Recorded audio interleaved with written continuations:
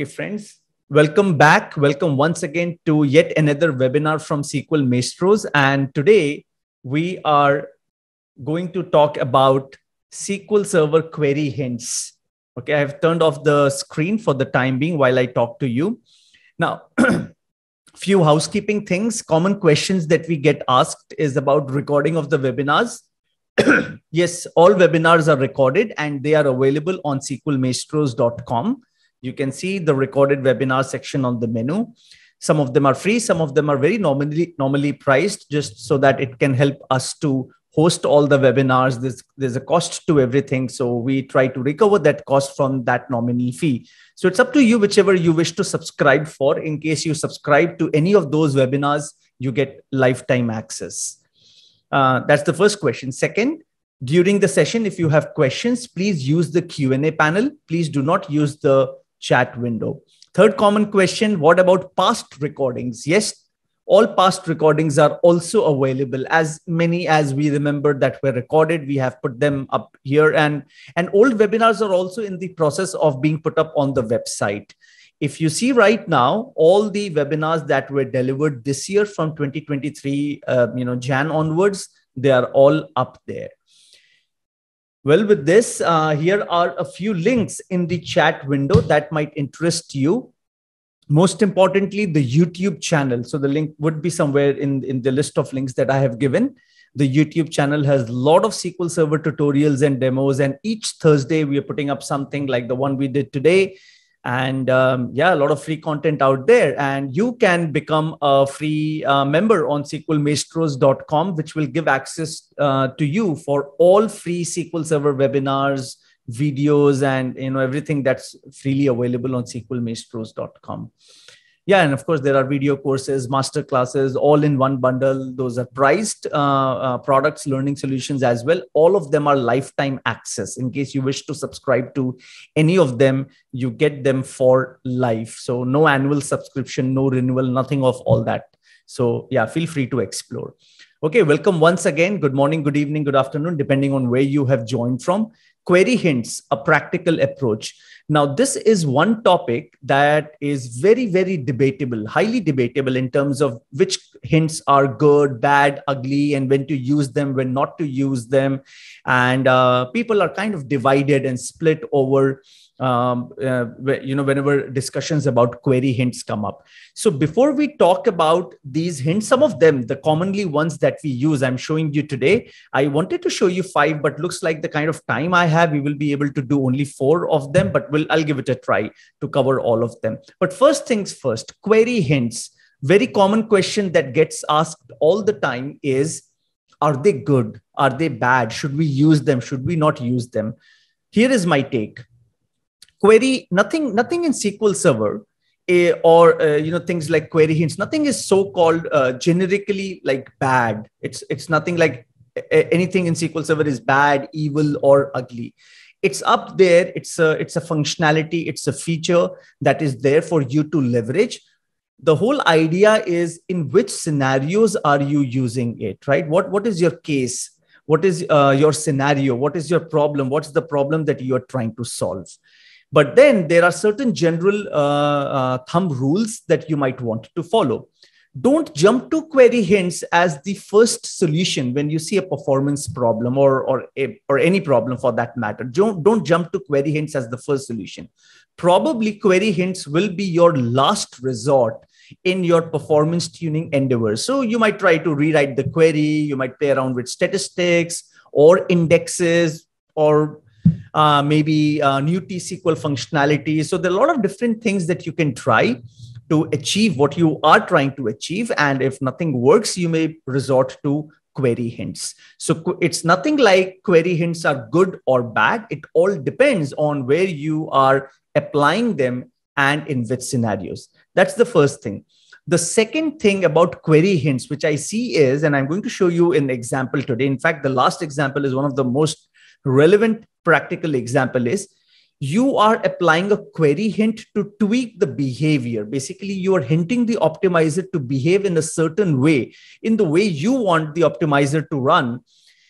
And that could be a temporary fix. query hints are, in my opinion, never a permanent fix. They are a temporary fix. So it is very important that you're aware that you're temporarily applying a query hint to change the course of action for some time until you're trying to figure out other solutions, etc., etc.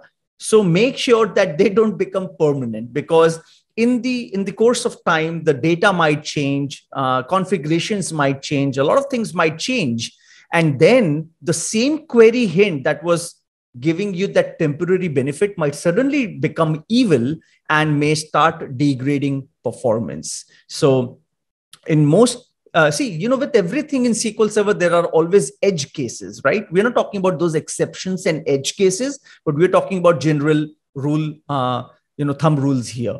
So uh, uh these are certain ideas behind uh, query hints, and when you talk about these hints, uh, specifically, they're all kind of categorized like lock hints, table hints, query hints, etc. So that was just a very quick overview about hints. Now let's jump into demos straight away. Questions are welcome. Please continue to use the Q&A panel. Okay, so just to let you know, today we have uh, 180 folks uh, joining uh, today's session. So that is really good. Thanks very much. Let's start the demo once more. Okay, we are using AdventureWorks 2016 for the purpose of demo. We're creating this table called DBO sales, which has two attributes, order ID and amount. Both are integer. A simple dummy table only for the purpose of demo. A sales order table may never look as simple as it is.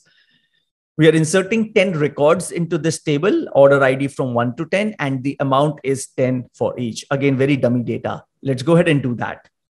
All done. Now, if you check the data, and let's say you want to run a query like this. Look at this query. This is simply giving you the sum of amount. And let's say this is your analytical query, right? This is an analytical query, uh, something that gives you an aggregation or summation, and something like this is running, and a report is being generated out of it.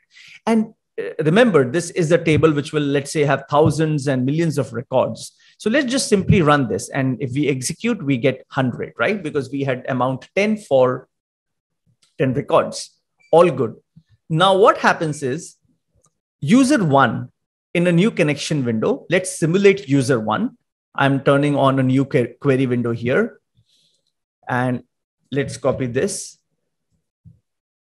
paste it here. So, what is user one trying to do?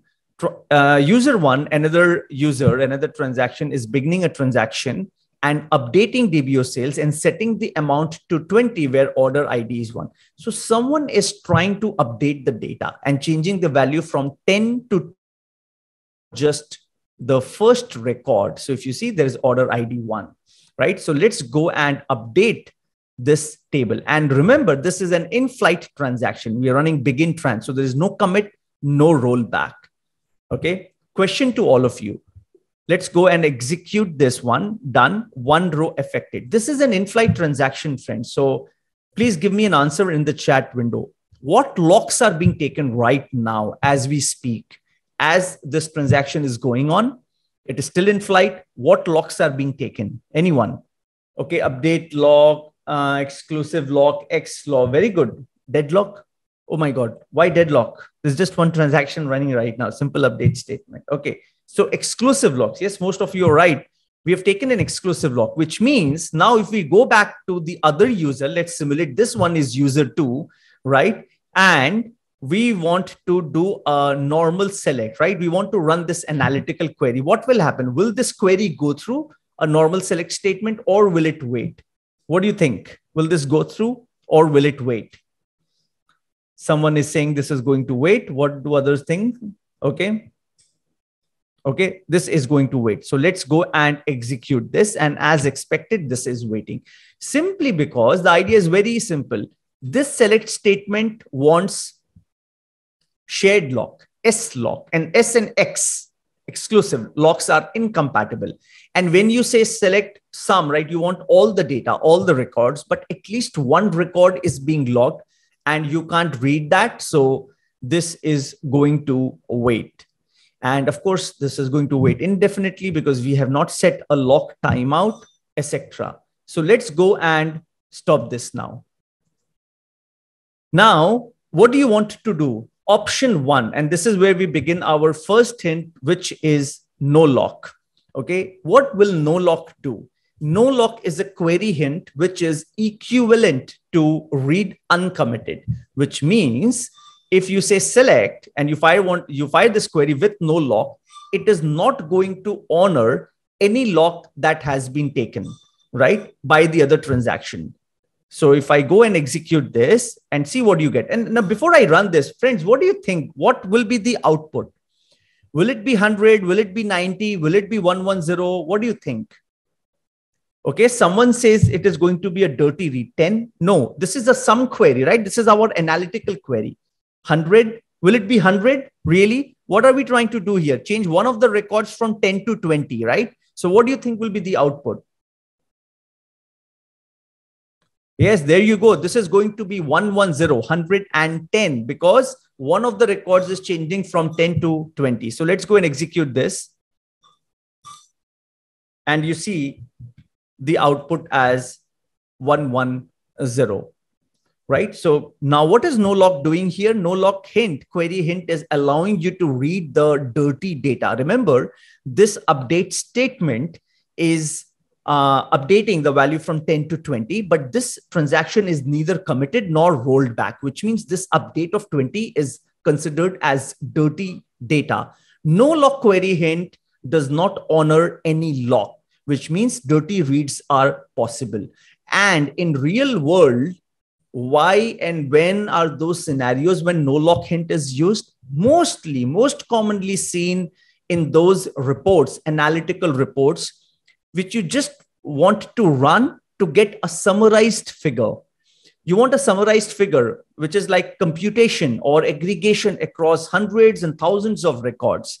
And if you're reading some dirty data there or you're missing out on some data, it doesn't really matter because those reports are giving you an aggregated figure. And the business users who want that kind of data just want it for some analysis, some idea. And if it's a huge figure that we are talking about, like some, some numbers in millions, even if a few hundreds and thousands are missing out from there or are, are uh, incorrect, because I say dirty data is kind of incorrect data, it doesn't really matter. But the report should run. See, here is the catch.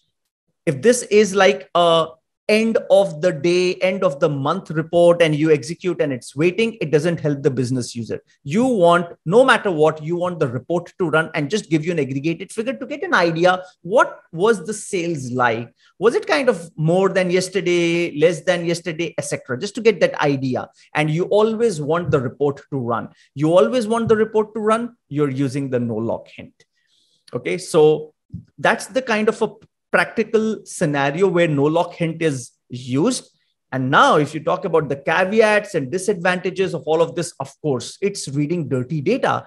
Reading dirty data could be dangerous in many different scenarios. So be very, very careful where exactly no lock hint is being used. If you are using no lock hint with uh, your queries, which are reading financial transactional data, uh, that might be a huge risk because you're reading dirty data that is not yet committed, uh, etc. So never use no lock query hint without understanding the business implication of no lock. All right. Now that is no lock hint. Now, let's say your business scenario is something like I just cannot allow reading dirty data. And the bookish example that I can give you is the um, the financial world. In the financial world, uh, you know, it's it's kind of uh, uh, a taboo to read uh, dirty data. So you just cannot read dirty data or or uh, you know real time reservation system like let's say airlines etc i mean there's so many business scenarios where no one would really appreciate or allow reading dirty data uncommitted data so if that is the case, but you still want the report to run,